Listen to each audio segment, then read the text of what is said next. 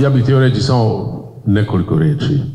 O, poslije ovog najmlađeg člana, da ja kao najstariji, najstariji u pozorju kažem nekoliko riječi. Zaista impresivno, kao što reče Haris, u ovom pozorištu prisustovati tako velikim projektima. I to nije samo ove godine, to je već nekoliko godina.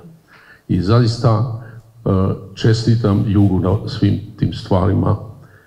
Impresivno je gledati koliko fantastičnih, novih, klasičnih, velikih komada, a i novih komada se ove godine postavljaju. Divno je ovaj, prisustovati tome i biti u, u tom času. U ovom času teških vremena, jedan put jedno pozorište i uopće pozorište govori svojim jezikom, brani se na svoj način. Jer pozorišta su jedina stvar koja ne može biti nikada okupirana. Njihov odnos je jedino prema meceni. A kao što kaže Kaleča, mecenat je per definicionem utilitaran i opasan. To ne znači da mecene nisu često puta činile usluge umjetnosti, premda su te usluge najčešće skupo plaćene. Ali samo onaj ko radikalno shvati i prihvati upravo tu ulogu, može istinski pomoći piscu, odnosno umjetniku.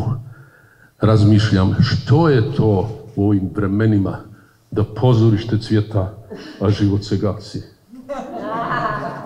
I to je taj absurd božanstveni.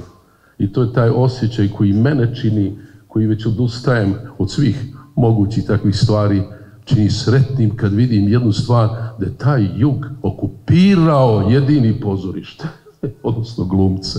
Ja čestitam mojim prijateljima, jer to odavno, odavno, još od KPGT-a nisam vidio takvu divnu energiju i takav sjajan, sjajan ansambl.